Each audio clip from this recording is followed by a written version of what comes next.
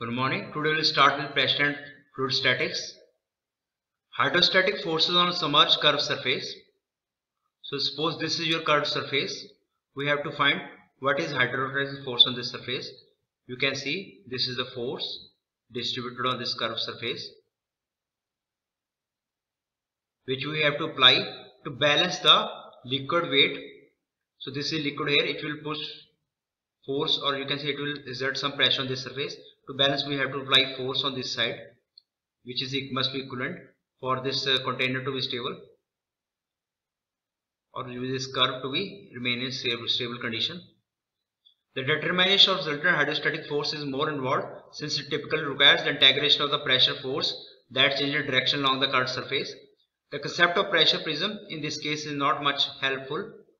So the easiest way is to determine the resultant hydraulic force Fr acting on the two-dimensional curved surface is to determine the horizontal and vertical components Fh and Fy separately. This is done by considering the free body diagram of the liquid block enclosed by the curved surface and two plane surfaces, one horizontal and one vertical. Means this is your here body here. Let's take this liquid block and we will consider two planes. One is your horizontal plane which is AB, one is your vertical plane which is BC and they will exert equal and opposite amount of force means in vertical direction in horizontal direction to counteract this force which is exerted over here.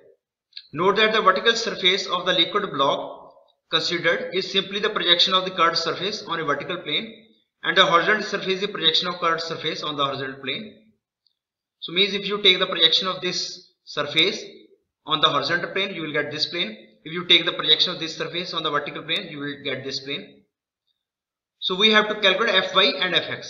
Now we know we have to apply the force balance that Fy plus weight and this force Fx this must be equal to the this Fr force this resultant force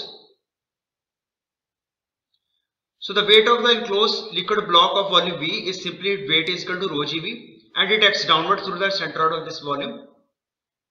So horizontal force component on the curved surface is equal to Fh is equal to Fx. Vertical force component of curved surface is equal to F vertical is equal to Fy plus weight. Where the summation of Fy plus W is a vector addition, both act in same direction and subtract if they act in opposite direction. So you can see here if curved surface is like this. So in this case weight of this element will act downward. This liquid element will act downward and Fy will act upward. So they have to subtract from each other. So depending on the location of curved surface and the element you will select this will be decided whether weight will be added or it will be subtracted from this force Fy. Now what is resultant force? The Fr is equal to under Fh square plus Fv square. The magnitude of resultant further force acting on the curved surface is this and the tangent of the angle it makes with the horizontal is tan alpha is equal to Fv by Fh. The exact location of the line of action of the resultant force can be determined by taking a moment about an appropriate point. These discussions are valid for all curved surface regardless of whether they are above or below the liquid. Note that in this case of curved surface above a liquid, the weight of liquid is subtracted from the vertical component of the hydrostatic force since they act in opposite direction. In this case, we have to subtract the weight. Now consider one more case. This is your circular shape here, cylindrical shape. The hydrostatic force acting on a circular surface always passes through the center of the circle. You can see this pressure, this is the force due to pressure and the, you can say if you take the sum of all these forces they will pass through the centroid or you can say resultant will pass through the centroid of this circle. When the curved surface is circular arc the resultant hydrostatic force acting on the surface always pass through the center of the circle. This is because the pressure force are normal to the surface and all lines normal to the surface of circle pass through the center of the circle. You can see these all lines are normal to surface at each and every point this pressure is normal to surface and they will should will pass through the centroid of the center of the circle. Thus the pressure force form a concurrent force system at the center which can be reduced to a single equivalent force at that point. So this is another example where your this surface is submerged and there are two fluids oil and water. So the hydrostatic force on a surface submerged in multi-layered fluid can be determined by considering parts of the surface in different fluids. So you can see here finally hydrostatic force acting on a plate or curved surface submerged in multi-layered fluid of different densities can be determined by considering different parts of surface in different fluids as different surfaces finding the force on each part and then adding them using the vector addition. For a plane surface, you can say first you have to find the resultant force which is sum of the resultant force at by different liquids at uh, the plate section. So you can divide the plate into two parts B1 and B2. So this is FR1 of due to the oil and this is FR2 due to the water because the density of the both the fluid is different. This is equal to summation of PC for each individual component and area of the individual. So where PCI is equal to P0 plus density IGHC. I is the uh, where is the pressure at the point at the centroid of the portion of the surface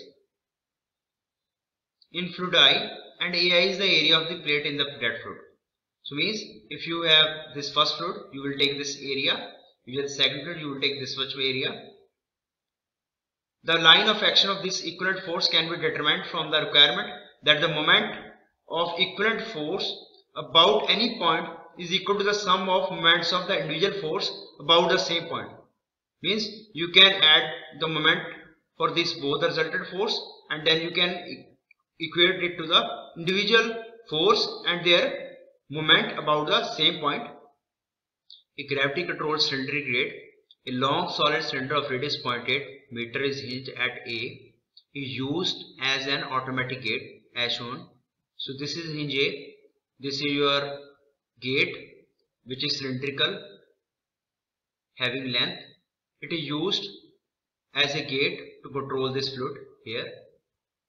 When the water level reaches 5 meter, the gate opens by turning about the hinge at point A so when water level in here is this reservoir is 5 meter. So this gate will open. Find the hydrostatic force acting on the cylinder and its line of action when the gate opens. The weight of cylinder per meter length of the cylinder. We have to find Fr which is a force acting on the cylinder and we have to find the line of action from where this force will pass. Assume friction at the gate hinge is negligible atmosphere pressure acts on both sides of the gate. So on this side is atmosphere pressure, on this side atmosphere pressure. So those will cancel out. We won't consider those pressure. Now consider the fluid diagram, word diagram of cylinder. Now take this element here and this element of the fluid means this element. On this side of fluid, the force is horizontal which is Fx. The vertical force by this fluid is Fy and weight of this element is acting downward. So horizontal force is equal to Fx which is P average into area. Now P average is equal to density to gravity into Hc. Hc is the centroid of the cylinder from the surface. So this part is 4.2 plus we will take half of this radius. So S is 4.2 plus r by 2 and area is equal to this which is 0.8 this multiply by on other side we will take cylinder length to be unit means 1 meter. This is 0.84 multiply by 1 meter. 0.8 multiply by 1 meter. So horizontal force is 36.1 kilonewton. Now vertical force on horizontal surface means upward. That is Fy this force which is P average into area. Now what is P average?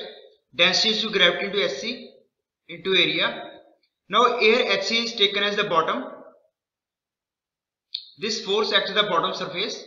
So we will take this complete height that is 5 meter because this force is acting at this surface here at the bottom from at this point which is 32 9.2 kilonewton fx fy calculated now calculate the weight what is weight so this weight is equal to mass into gravity rho g into volume Now what is the volume of this element? So you can take a square here, take the volume of square and from that square subtract this volume here.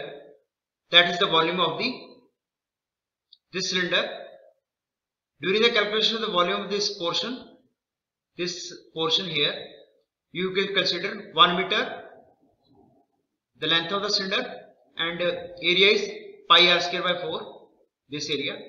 So when you subtract from this square this area you will get the this portion here. Means you will get this portion here. So weight of cylinder is 1.3 kilonewton.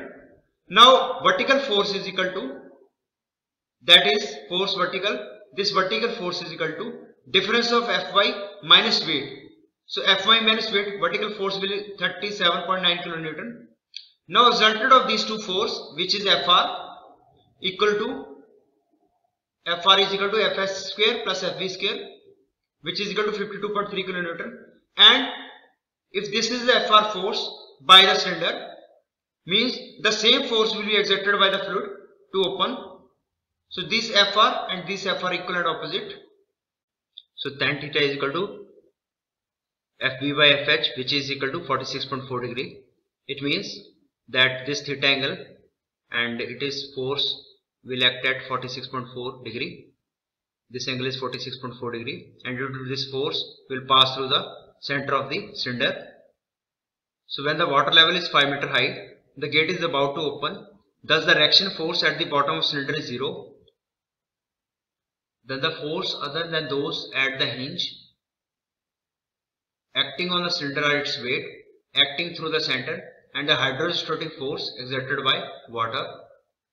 Taking a moment about point A at the location of the hinge and equating it to 0 gives so weight of cylinder will act downward and it will produce a moment about point A which is weight of cylinder multiplied this distance and this force component the component of this force which will act in vertical direction that is Fv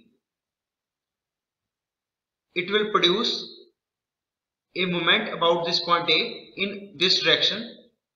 It will try to lift it. So this force F vertical multiply with this distance. So they will balance each other.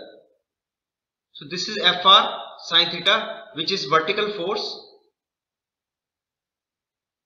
multiply by this radius of cylinder which will give you the vertical moment in upper direction minus weight of cylinder into R and this moment is in the downward direction and the both moment will cancel out when your gate will start to open equal to 0. So weight of cylinder is equal to Fr sin theta which is equal to 37.9 kilonewton. Now the weight of cylinder per mass length is determined to be 37.9 kilonewton. Per meter length is determined 37.9 kilonewton